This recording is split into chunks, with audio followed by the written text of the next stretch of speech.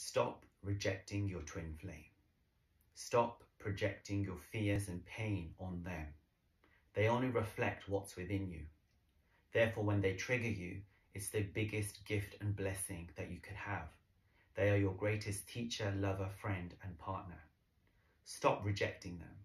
As you reject them, you're rejecting aspects of yourself, your inner child, your vulnerable aspects within, your pure aspects within, those aspects that need you to integrate and love them.